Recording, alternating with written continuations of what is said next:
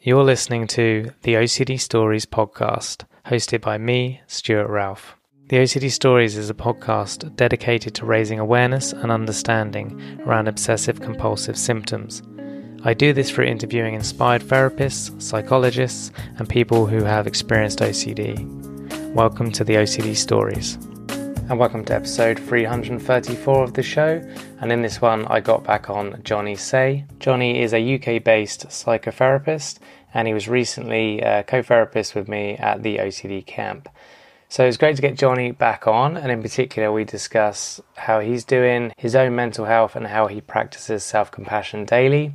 We discuss shame in OCD, intrusive thoughts, and in doing compulsions. We discuss the inner critic, self compassion, and how it can help building up psychological flexibility skills before exposure and response prevention therapy, values based exposures, dropping anchor, a compassionate approach to ERP, and a much more. Um, I think this is an important episode. I hope you guys like it and I hope it resonates with you and helps you in some way. And thank you to NoCD for supporting the podcast.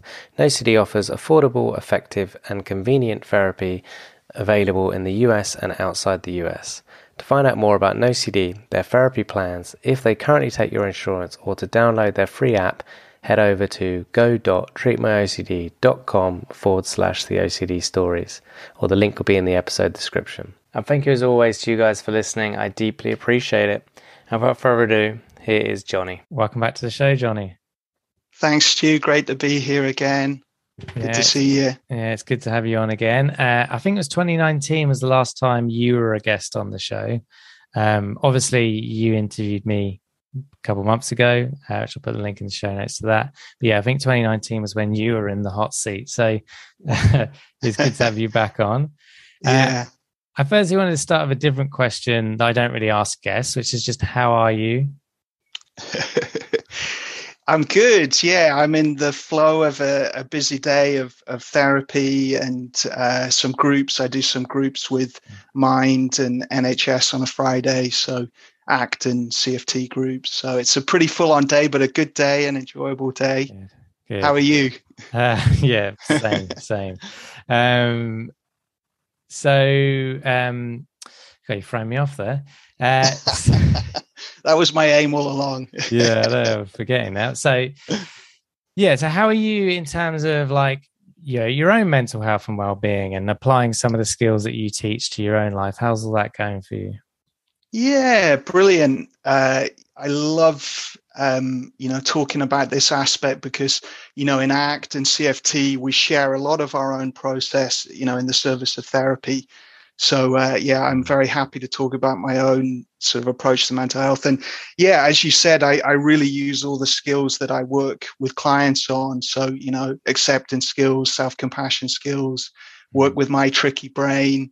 Um, you know, in terms of OCD, I I would say I don't struggle with OCD you know, explicitly anymore because of developing, you know, defusion, acceptance skills, being able to be with difficult thoughts and feelings, all this stuff. But I, I certainly have my share of anxiety and, and mm. periods of, you know, more depressed mood that I, I work with, or, you know, I've got a long um, history of difficult mental health. And I would say the resonance of some of that is still around. And I, you know, I just work with it. I use self compassion if I'm, feeling low, I'm very kind to myself and I, I keep doing all the good things that, that help me.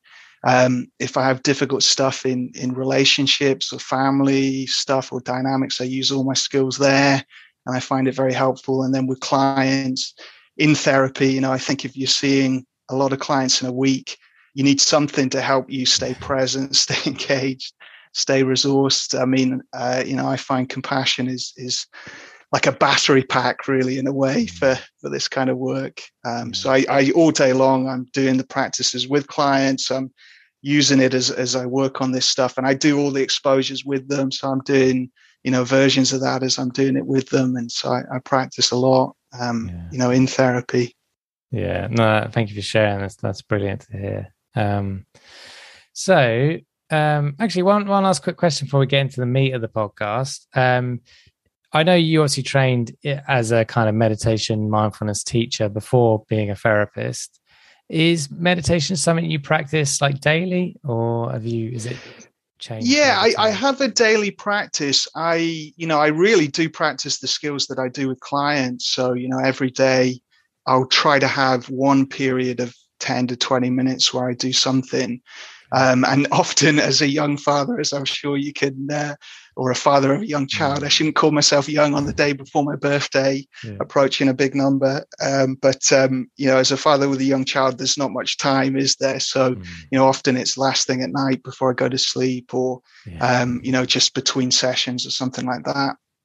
And I do, I practice um, you know, skills like dropping anchor, urge mm. surfing, lots of compassion work. I mean, compassion is really my main daily practice. So I'll do sometimes, you know, CFT practices as you would read them in the books, sometimes, you know, just my own loving kindness practice or something like that.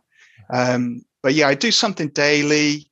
Sometimes it's shorter. Um, I don't really see it as a meditation practice like I might have done in the past, where there are goals around uh, mm. progress and a sort of spiritual framework and things. I, am more seeing it as a way to practice skills to bring into my life and into yeah. my work and and things. Yeah. Okay, good. Thank thank you for sharing that. Uh, so let's talk about self compassion, um, specifically being an antidote to shame. So, how does shame um, show itself in some of your clients with OCD? Yeah, I think shame is a huge theme. I mean, in mental health across the board, I mean, mm. almost all my clients um, across all presentations. But in OCD, I guess you can have, I mean, you know, shame is typ- typically framed as that sense of I'm not good enough or I'm bad, mm. you know, mm. compared with guilt, where it's I've done bad things or, you know, I haven't done things well enough. Um, I like Russ Harris. He says that actually it's maybe more blurred than that. You know, you often have a little bit of both. Really, it's rare that you see one on its own, but um, you know that that sort of form of shame. I think you can have it very much about the present moment experience of OCD. So you can have shame around the compulsions that you know a lot of my clients are very logical analytical people and that part of their brain can see that the compulsion makes no sense so there's like a shame and embarrassment you know sense of why am i doing this? You know why can't i resist this? This makes no sense. But the feeling is so strong. So there's that there's the shame around the the nature of the intrusive thoughts the sort of disturbing taboo difficult thoughts that that can be so painful with ocd um, and and people can feel i'm a bad person because of that. There's something wrong with me. You know that that kind of shame and then I guess there can be a shame history in, in CFT. We would look at the the sort of shame history and, and going back, and that can be so diverse in in OCD. So it can include, you know, more standard types of uh, you know difficult early attachment experiences like emotional abuse, physical abuse, trauma, um, you know, but it, it can be more neglect or over control. You know, sometimes, uh, well, in, in CFT, Chris Irons, my supervisor, did some research with Paul Gilbert looking at like the the what can happen when you actually have parents that are over controlling of of kids and how that can produce a sort of inner critic and a, a, sense of shame because it doesn't enable that sense that you know I, I can trust myself and I can do this. Um, so you can have very kind parents who are just controlling because they're anxious, and and yeah. uh, you know it's something I battle with myself, trying to surf that urge and you know try to let let my son go out in the world and do more. Um, and then then you can have the school experience, the the sibling experience. You have you know bullying comes up over and over again with a lot of my clients. Mm um, you know, the, the kind of adverse childhood experiences, really, as they're called, the ACEs. Yeah. Um, and, and the, you know, certainly in my experience, they show up a lot, maybe not all the time, um, but there can be subtle versions of it. Um, of course, there can be lots of other things that, that relate to the history of OCD and, and triggers and risk factors, but, you know, certainly that. So there can be shame around that childhood, mm. sibling, adolescent, um, you know, peer group experience right the way through. So I would say shame in the present around OCD presentation and shame in the history. And I think doing compassion work on both of those can can be so helpful. Yeah, good, good, good points. And it, I like that you, you talked about much more than OCD there, because obviously there's a lot of things that make up a person. It's not just the OCD, and these other factors may influence the OCD, or no doubt influence the OCD. Um, you mentioned CFT a couple of times. It's just I can't. I don't know if you said compassion focused therapy for anyone listening. That's what it stands for. Um, sorry if you did actually say that. Maybe I didn't hear it. Yeah. Okay. That's really interesting. And and yeah, you said about the shame around the thoughts people get, and like if they're logical, like oh, I shouldn't get this. This is amount of times I've heard my clients say, oh, "It's silly. I know I shouldn't think this," and it's like, well, yeah, to your like intelligent part of your brain, the prefrontal cortex, the part that evolved last, it is silly but the part that drives OCD doesn't know it's silly. It's terrified. It think it could well be a tiger in front of you. It can't distinguish between a real threat and a perceived threat. Um, and to that part of your brain, it's not silly. So it's trying to get them to get in touch with that and yeah. not, yeah, criticize themselves. Um, so um, on that, then, how how do you think shame kind of fuels OCD or makes it worse or harder to work with? Yeah, I think that shame, you know, if if we experience uh, large amounts of shame, it can add another voice into the mix. So you can have like the OCD intrusive part, voice or, or image or feeling or urge. And then you can also have the shame, the inner critic, and the inner critic can, you know, be early on about the OCD experience. So, you know, why what's wrong with you? Why are you like this? You know and it can get very harsh and critical. Obviously it can be contemptuous and, and very bullying. Um, later on it can get into therapy of like why am i not doing this right? I'm not good enough. You know why am i still doing compulsions? And and and again it can be a lot more critical than that. I think you know if you think about having you know you're doing something challenging in life like a sports event or or you know you're playing a musical concert whatever it is and next to you, you have someone who is saying you are awful. You've got no skills. You're not you're going to fail. You can't do this. Look how weak you are. You know are we going to play well in that sport? You know are we going to do that challenging thing? Well of course not. Mm-hmm. so and, and that can be a, a, very critical voice. It can be more uh, just you know, it could be just a, a voice that's trying to motivate you, but it's doing it in a sort of bullying type way, or it can be a feeling. And all of that adds stress into the system. And we we know that, you know, if anyone's had OCD, you know stress interfaces with with the mm. with your experience of it. You know, at times of stress, you more often than not going to have a harder time with with your intrusions and and you know everything you're experiencing. Um, so I think it fuels it, it, it that way. I think that um, it fuels a relationship to our mind that's not helpful for OCD. So shame, you know, shame can make us take our minds very seriously, take our feelings very seriously. Compassion can make us sort of soften up and, and have more space and not take everything so seriously. And, you know, as we've talked about before, that sense we've all got tricky brains. I'm not the only one you know that can really soften up and and make it can facilitate defusion in act terms you know the ability to watch the thoughts and step back. So i think compassion you know shame does the opposite of that. It fuses us more and it pushes us more into experiential avoidance and struggle with the emotion and, and compassion kind of softens it and gives us space and allows us to sort of trust ourselves more to move forward in our life. Yeah. Yeah i like that. Yeah good good explanation. So Let's actually before I move on, are there any exercises? Oh, there are many exercises, but any exercises you think worth sharing right now around self compassion specifically? Yeah, I mean, in the context of this, I would say building up a connection to your compassionate self. So you could look at um, you know, on on the Mindfulness Circle YouTube channel, my YouTube mm. channel, there's quite a few compassion practices. I've got a playlist. So doing something that gets you in in touch with what uh, compassion focused therapy would call the compassionate self, this part of us, you know, that is kind and and caring and wise and strong and courageous. So building up a connection to that with imagery, with words, with various practices really that, that use the kind of imagery and, and, and words and posture and, and body to stimulate that compassion system. And then once you've built up a connection of it and you've worked through any barriers to that, you know, any fears, blocks, resistance mm-hmm. to that, then applying that to the present moment of um, of shame with OCD and the past shame. So you work, you know, you'd pick a memory of you really struggling with OCD, and then as your compassionate self, extend kind, supportive words, or imagine giving yourself a hug or whatever it might be.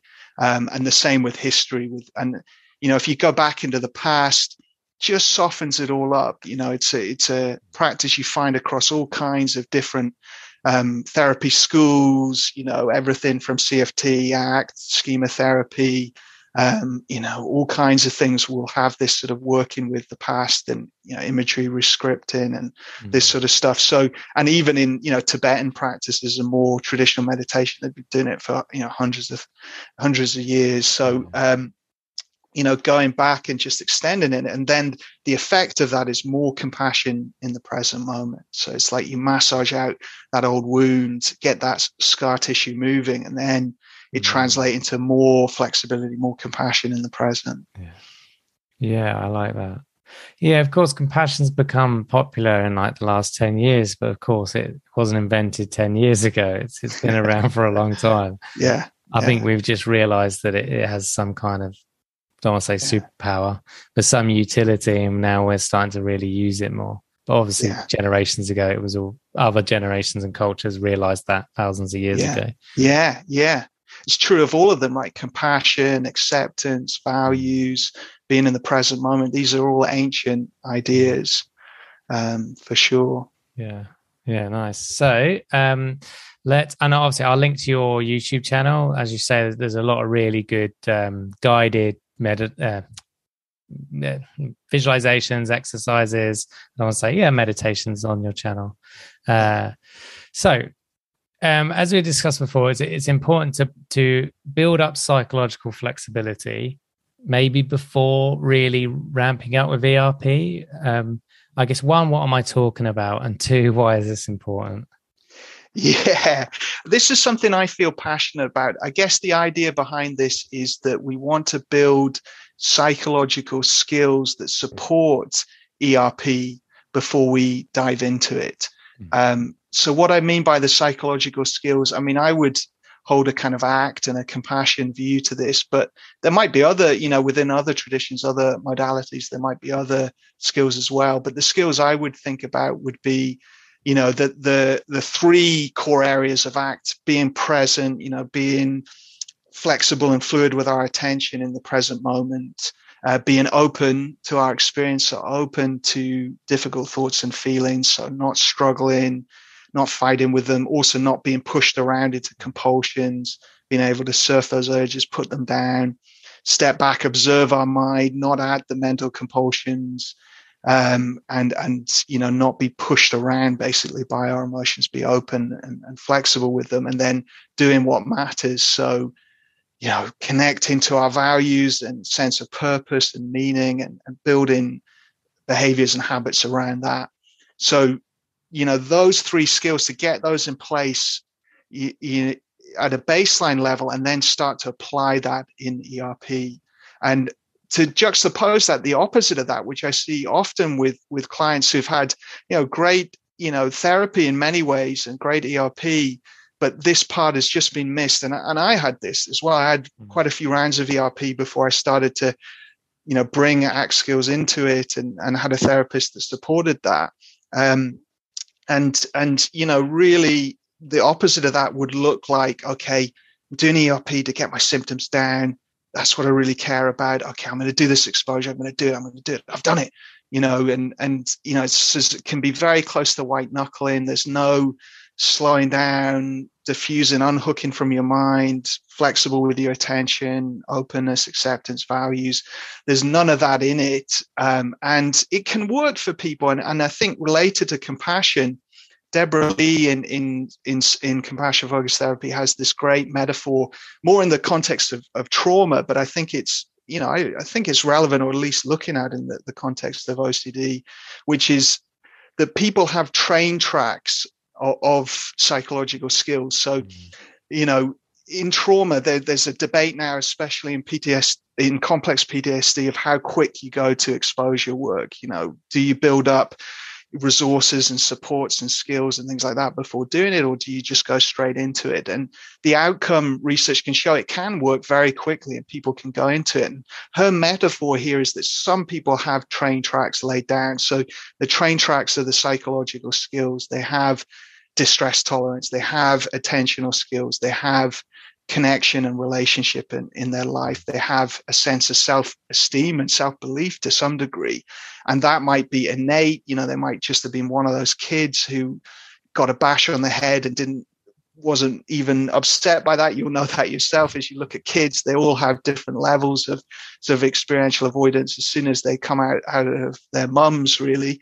And um, you know, so that there's there's that kind of innate, but then there's also the learned from the learning history that we talked about before. Have they had a secure base internalize that? And so if you don't have the train tracks laid down, you go straight into exposure. It could work, you know, it could start to develop those skills, but it also could derail you and there could be nothing to run on. And, you know, and so what I see in some of my clients is sometimes it works well because they have some level of those train tracks but in, in other clients, it actually has just pushed them into more compulsions or it's pushed pushed them into depression or, or de- dissociation or just you know high dropout rates. You know we know that uh, you know 30% erp dropout rates and and you know um, uh, the relapse rate is high and all that. So you know I, my my sense here is that with the building the psych flex the psych, psychological flexibility skills first compassion skills, then you have those train tracks down to then start doing the exposure work.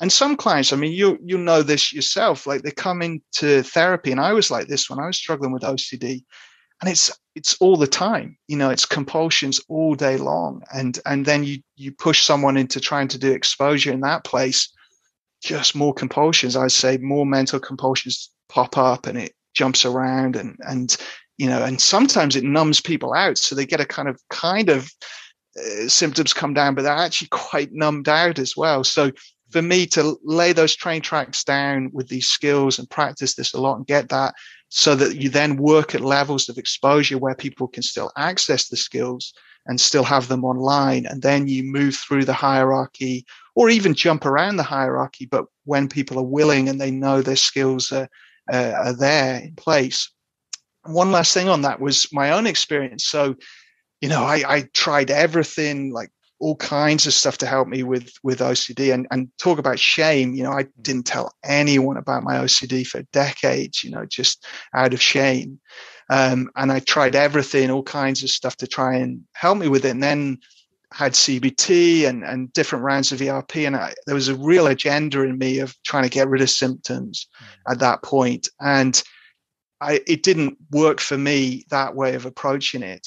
And then my OCD had jumped around quite a bit. And it landed on, you know, real intense health anxiety, death anxiety, existential type themes, really intense, like, you know, panic attacks all day long. Anything I looked at could sort of trigger it. And, you know, it was really intense. And I, I went into therapy at that point just I just had a few sessions with um, you know my therapist at that point, but I went into it and I'd kind of rediscovered ACT, and I thought there's no way I can sort of overcome this fear. You know, if I get a brain tumor tomorrow, I am not going to be able to be calm and and non anxious with that. So or you know like facing all those crazy existential fears and things like that they're just difficult so i thought what i'm going to do is i'm going to try to build acceptance skills in this exposure so i'm going to do these horrendous exposure scripts of of like uh, you know me dying eh, and going through that process and you know real detail. And i'm going to work on being as comfortable as i can in that. Getting real acceptance and mindfulness and uh, uh, you know psychological flexibility. And that's why i feel so so passionate about it because that was the thing that really helped me the most. And the clients i see do best are the ones who who use who approach it as building skills and really work that um, you know and and and that's their main agenda not trying to control symptoms or get rid of them. And then the side effect is they get better. You know, they yeah. get better in terms of symptoms. Not that that's not what they're targeting. Mm. Yeah, thank, thank, you for sharing that and using your own life to illustrate it. Uh, like it reminded me of a, I think it was Abe Lincoln that said, it's something like if I have like five hours to cut down a tree, I'm going to spend four hours sharpening my axe. Yeah. Yeah, exactly. As opposed to imagine just going straight into ERP, it's just trying to cut that tree down with a blunt axe. It's going to be painful. Yeah. It's going to take it way longer, and yeah. Um, yeah. And some people have naturally a sharp axe, you yeah, know, just true. the way they are. And but but a lot of people don't actually. Mm. Uh, I was thinking about it on a on a walk today, and I thought of the metaphor of mountain bike riding. Actually, that you know, it's like you go to the top of the mountain and someone goes, just go for it, and you've never been on a bike before. And some people have natural balance, natural cur- courage i mean it's not really courage because they're just not scared of it but courage is doing it when you're scared but yeah. they they you know they they're naturally prone to adrenaline and competent and they're not too mm. they don't think they're going to fall off and they go for it and they do well and then other people try to do that because of the lack of of those innate capacities fall off immediately and then other people probably like myself would have done have the brakes on, yeah. going down this mountain at a snail's pace, and then they're falling off because of that. So, mm. you know, really, actually, let's get the bike out and ride it on the flat first, and then let's go up a little hill, and then let's, you know, then let's learn to bunny hop, and then let's do little by little more and more. Yeah, yeah, yeah spot on. So, I think the question that comes to my mind is, um, okay, so you're working on psychological flexibility skills or skills that uh, promote that at what point do you start to bring in high, a hierarchy and actual exposures and hmm. in terms of sessions i think i'm asking in terms of sessions yeah i mean i i, I really like the values based exposure approach from act and you know very um, inspired by uh, friend of the podcast, Patricia Zurita Ona, and her sort of approach to values based exposure. And anyone interested, obviously, can check that out in, in her book. And mm. um, so, but I would do it fairly early, start to to build up um, a potential values based hierarchy. So, you know, pretty early, I would be, you know, I'd obviously, like everyone, be doing assessment and, and looking at formulation, looking at the, the presentation of OCD, the obsessions, the compulsions, you know, other parts of the life as well, other, you know, other things in the history, like we said, compassion, mm. markers for compassion, other things as well. But probably session maybe two, three, four, even, you know, depends on the person. I've had mm. lots of clients who've had lots of therapy before had lots of ERP before, so we can almost take the you know the yeah. hierarchy and adjust it, make it a bit more values based, and think about what it's in service of. Um, but pretty early on, alongside developing the skills, okay. and actually one of the first things on the values based exposure hierarchy might be just practicing skills because you know for me with OCD uh, doing meditation you know decades ago it was there all the time. You know, that was exposure mm. itself. As soon as I sat in stillness, my mind would just be ping, ping, pinging intrusive thoughts and, you know, just going, going berserk. Um, and, and so even just to start to do the skills together, you know, in the relationships it's different. We have that, that sense of hopefully compassion and security. And, and, you know, that's a way that we, we, we learn the psychological flexibility skills is in the relationship as well. Um, but just that might be the first thing on the hierarchy and then we might be moving to imaginary stuff or mental rehearsal and then we might be moving to um, you know actually putting down compulsions or facing you know fears or starting to watch things or read things or use certain triggers and and, and everything else. Um, so yeah pretty early on we'd start and build it up over time as and and really it would relate to goals as well right? It would relate to their goals for therapy and what they want to see as a change here. Um, you know, I would build that into the the hierarchy quite a bit and values. You know, looking as we're exploring values early on as motivation um, to do the exposure work. You know, that would bring up things that we could start putting on that hierarchy as well. Yeah, no, it makes a lot of sense. And you're still, uh, even as you're like well into doing ERP, you're still coming back to those those tools, those skills that you've taught around psychological flexibility and compassion. Yeah, I practice every session. I mean, often with most of my clients, unless there's something immediate that's happened or something we need to tackle right away, I'll I'll do practice at the start of every session, pretty much. Yeah because I just think to have at least got that in, you know, at least done some practice. Mm. Um, and that could be as simple as dropping anchor or another mindfulness practice, or it might be doing a, a short exposure practice, you know, and a skills based exposure practice to start, or a compassion practice as well. Yeah. Uh, okay. Yeah, interesting. And do you use dropping anchor? So anyone that doesn't know what we're talking about, if you listen to the Russ Harris, most recent Russ Harris episode, he he guides us through dropping anchor in that.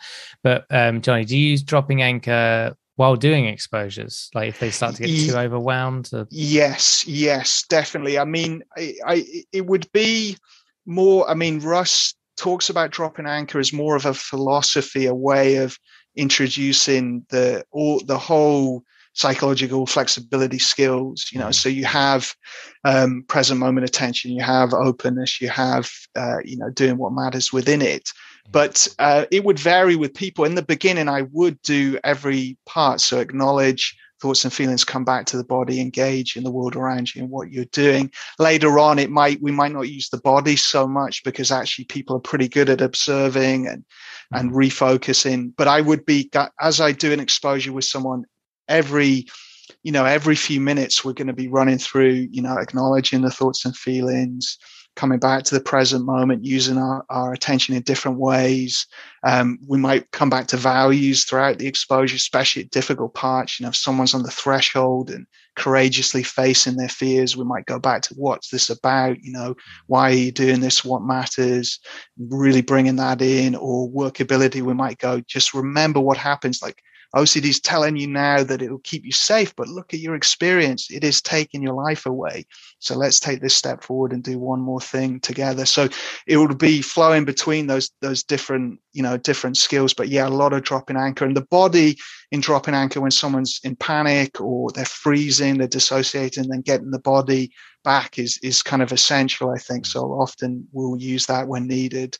Um, and then, you know, as people go on, it might be more engaged, they don't actually need to do such a, a, a long drop in anchor because they're just good at, you know, unhooking from thoughts, putting down compulsions, surfing the urge to do mental or physical compulsions and engaging in, in what matters during an exposure. So in that case, you know, it might not be so in depth. It's more just checking in. And I'll do it interpersonally so people are feeding back and getting a mm. sense of what's going on. And then that will give cues for if we need to do one skill more or what someone's getting stuck with, or, you know, it helps you, you understand their experience.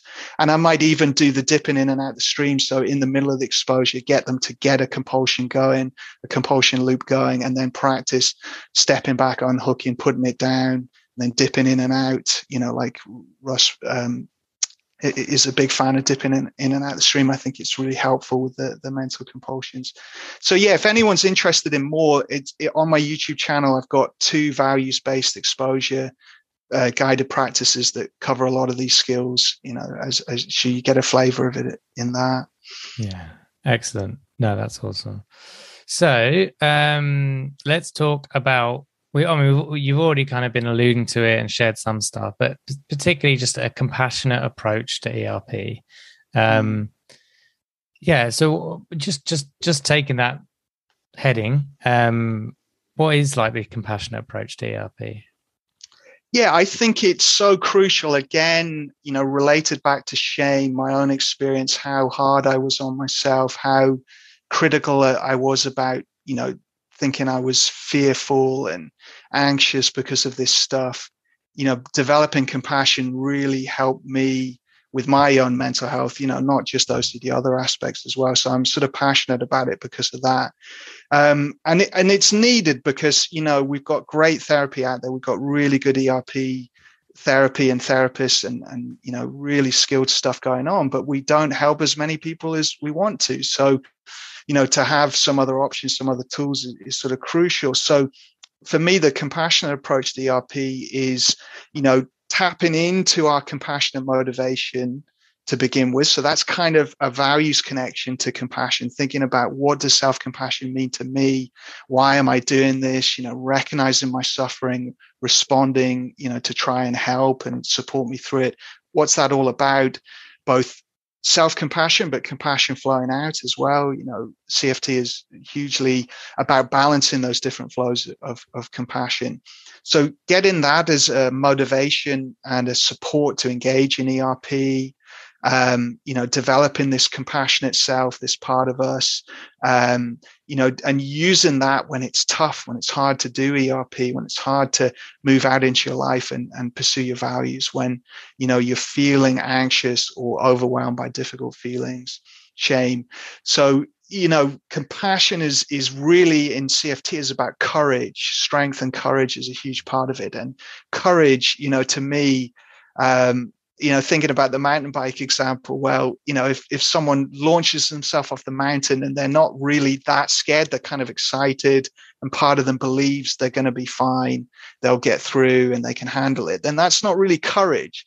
Courage is our clients pushing into fear when part of their brain is literally thinking they or someone else is going to die or they're going to make everyone miserable or they're going to have this unbearable feeling for the rest of their life or, or whatever the, the core fear might be you know that's courageous and compassion supports courage you know. So so you know setting that up at the beginning um, certain clients doing more of it when there's a lot of harsh inner critic trauma you know if, if anyone has a trauma history i'm going to do a lot more compassion there as well. And and getting that is a, another sort of psychological base to then start doing doing the exposure. And again it might be a skill we're using the exposure. So it, you know if if someone's in a tough place actually doing a brief compassion practice of, of mindfully noticing the experience and then saying something supportive and compassionate and motivating and, and helping us. Um, so, you know, really using those skills throughout and also a compassionate approach to taking care of ourselves as we do the hard work of, of exposure and therapy. Because actually, we know, you know, we need rest to recover and learn. You know, uh, neuro neuroscientist friends are, telling us you need plenty of that to consolidate new learning and things. So, of course, that can be difficult if you've got OCD twenty four seven. It's mm. very hard to rest, but you know, to have some attempt of soothing and calming and grounding and with supportive, safe others and in, in doing activities that are compassionate to balance out those intense periods of pushing into it and, and working on it. Um, so compassionate action being a, a, huge part, compassionate attention, what we focus on. So that would be some ideas. I, I, I do really like um, Kimberly Quinlan's new book on this is great. There's obviously a lot of CFT and lots of good ideas in that. And and um, uh, Jon Hershfield and, and, and Shala Nicely's Everyday Mindfulness has a really nice bit on compassion in that. It tells you how to avoid the pitfall of making it a sort of reassurance compulsion and you know in, in, in how to how to kind of spot that and use it to help you motivate you keep you going. Um, so yeah that would be some thoughts. There's obviously a lot you could say on it but mm. uh, also working on the history as well you know not just doing the erp but also working on the, the person's history. And so often i found and that's something that my CFT supervisor, Chris Irons, really emphasizes is, is, sometimes if someone's getting stuck on the, the some of the ERP stuff, there's some shame, some difficult stuff in the past that if we extend compassion to that, it might soften it all up and make it mm. more, uh, you know, more able to work with. Yeah, yeah, great answer. Um, and obviously, uh, compassion works massively for the inner critic that we all have to varying degrees. And I guess what came to my mind was around thinking of the inner critic while doing ERP. It's like, yeah, I didn't, I didn't do it well enough, or you know, I was meant to be with this thing for thirty minutes and I could only manage five, and I'm an idiot because of it, and whatever the inner critic's yeah. going to say. And um, I guess I'd say the the inner critic separate to OCD will find something to pull you up on if you if you allow it, and yeah. maybe talking a bit about that and the compassion for that. Yeah. Yeah, definitely. A huge, huge part that comes up all the time. Um, and I think that, you know, one principle for me is recycle the reaction. So as we're doing exposure work and, you know, we're unhooking from the difficult obsessions and, and surfing the urge to do the compulsions. And then sometimes the mind will do sneaky things like it'll go into the inner critic and a more depressed voice or a different feeling will come up or something else. And it's really trying to get us into, you know, a different type of, of cognitive process, like, mm. You know, resentment or, or self attack or judgment, like you're saying, or self blame. So really treating that as another thing to defuse and unhook and, and then extend compassion, a supportive voice that actually no one makes big changes immediately. No one does difficult things in all in one go. We slip and recommit. We try again.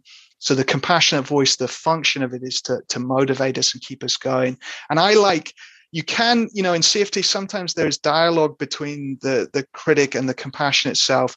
I like, especially in OCD, actually, it's more like they're alongside each other. So, you know, the compassionate voice is just there with you, supporting you, and you're actually defusing from the critic. So you're observing and noticing and naming, or just observing and, and noticing the critic, stepping back, and then compassion is alongside you, like a supportive voice on a, you know, you're running a marathon and you get near the end, and it's this voice in your head that says, You're nearly there, just keep mm. going. Remember why you're doing this, what it's in service of and you know there's another voice in you going you're knackered give up yeah. you know it's too hard so you, you don't argue with that because it is knackering and hard and difficult you step back defuse mm. and then you use a supportive voice to, to keep you going um, so yeah and i think in a in a critic can do some funny things it can blend with ocd i've had that in some clients where it's more like it becomes you know judgment statements or commands or it's like the inner critic and, and ocd have kind of merged a little bit. So mm. you know just being ready for any anything your mind does and not getting into categories too much just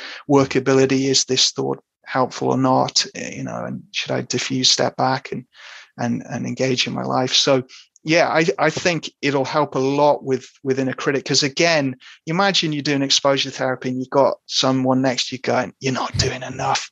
What are you doing? You know, you're a you're a loser. You can't do this." Like it's going to be tough to do that exposure therapy with that voice there. Yeah, yeah, absolutely.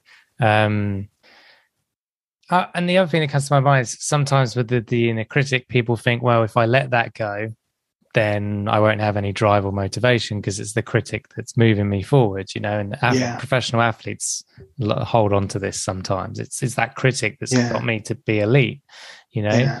But it's like you think of uh, Jurgen Klopp for Liverpool. He's very he seems very compassionate to his players. He seems like he's created a great culture, but yet he still holds them accountable. If they slip up, he's going to be on their case, but he's going to be doing it in a supportive, nurturing way. At least I believe.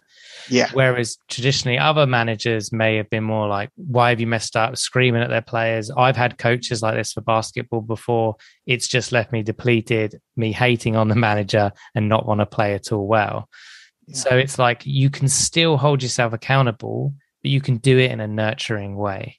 Yeah, yeah, yeah, in a fierce and a courageous and a wise way. You know, um, if if you're looking after a kid and they ask for endless ice cream, you know, it's not compassionate to keep giving them ice cream. We've got to have, you know, a boundary and and you know and have some limits. At least at least try to, ace you.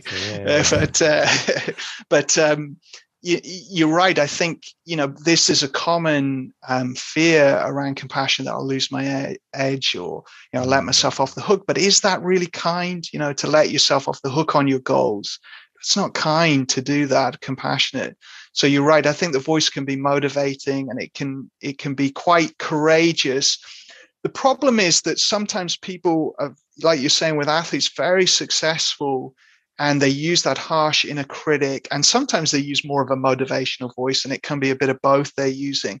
And then they they you know with intermittent conditioning it only needs to work once to make us feel like it's the thing that helps. So we only need one time when we're exhausted and you went you idiot get on with it and it worked and then you think god that's what i need. But yeah. excuse me often i think it's correlation not causation actually. And you know it's more the the motivator is more values. You know if you look at public health programs it's not you know the voice it's not the message on the cigarette box saying you're going to get cancer and this is what it looks like mm. that changes. It's actually i want to be healthy and well for my kids. I want to be able to play sports. You know i, I want to feel you know uh, well when I'm later in my life, you know, that kind of values based thing will motivate people to change more. So, you know, yes, maybe the inner critic at times helps you do stuff, but a lot of the time it doesn't. It makes you feel worse. And you know just look at your experience closely with mindfulness and you'll see that. You know that's one of the things compassion often starts with mindfulness first and then moving towards compassion because you know we have to be able to see our suffering to really then be compassionate. And sometimes we're not seeing our suffering. But i've yeah i've had a lot of clients high achieving clients you know re- real you know uh, you know athletes and things like that. And you know it's exactly as you say there's a kind of negotiation going on between us of like well let's at least try a compassionate voice. And maybe it does need to be a little bit more motivating and and and kind of courageous but let's give it a shot and see how it works for you and then trust your experience so the same in erp let's try having a compassionate voice to get you to go to do it you know maybe using it at times of difficulty. And let's see how it works and then trust your experience. And you can always go back to being very critical to yourself. You know that that yeah, voice yeah. won't go for long if you want to get stuck in there. Yeah good point. What have you got to lose? Give it a try mm. right? Um, okay, so I guess lastly, on any of this we've discussed, is there anything else you wanted to add?